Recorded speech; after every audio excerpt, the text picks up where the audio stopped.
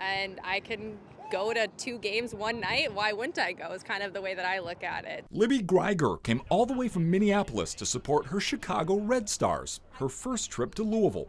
The inaugural Women's Cup soccer tournament taking place this week at Lynn Family Stadium.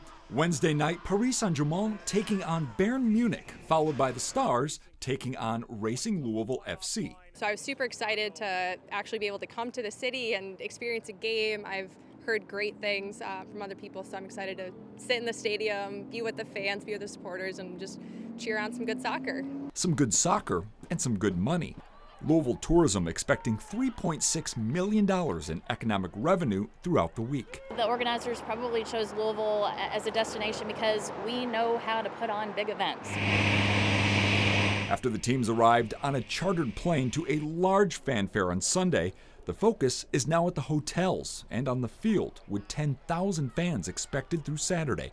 Based on its proximity to other cities, Women's Cup organizers knew Louisville would be the perfect fit for the first of its kind event. They really think Louisville could be an epicenter for women's soccer, uh, not just nationally, but internationally. So it's exciting to think of those prospects. Now that we have a stadium, a beautiful stadium to play in, it's just going to start to attract talent from around the world and here in our own country as well. So it, it's, it's a big deal.